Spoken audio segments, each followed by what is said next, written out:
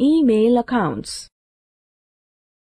You can open your email account on any of the websites providing email services. Some of the sites providing free email services are yahoo.com, gmail.com, hotmail.com.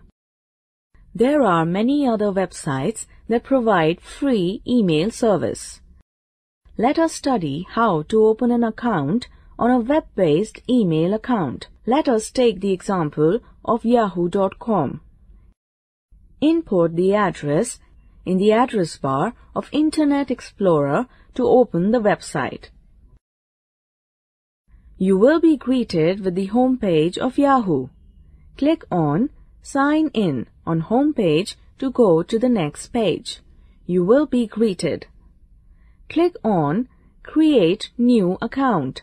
A new screen will appear.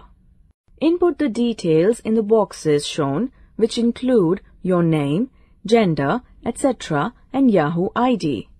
After entering the Yahoo ID, it will automatically check whether the ID you want to register is available and not being taken by somebody else. If your username is already taken, you will be given a message that the username is in use and you have to select some other username. Try with some other username until you can register. Must know.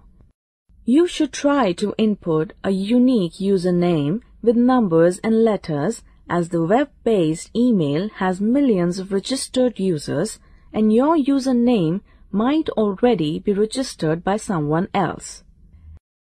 Enter password. Hint question in case you forgot your password for Yahoo UK Mail.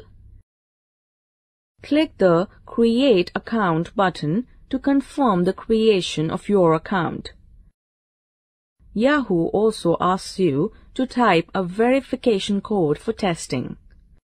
This code is known as CAPTCHA. You just have to type the shown code on the screen in the given box.